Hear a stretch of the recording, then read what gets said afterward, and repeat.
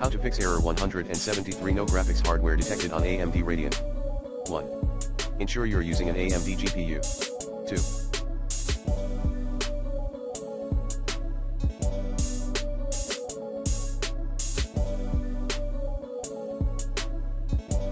Do a fresh installation. To do so, remove existing AMD software reboot your computer when the uninstallation is complete download the latest build. 3.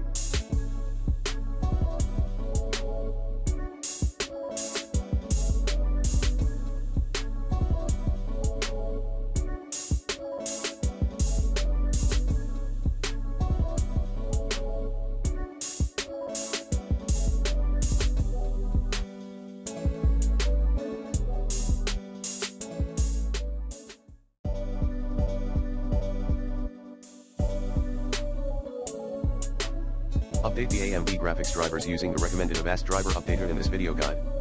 4. Rebuild Radeon profile. To do so, backup and delete gmdb.blb at percent localappdata slash amd slash cn folder. 5.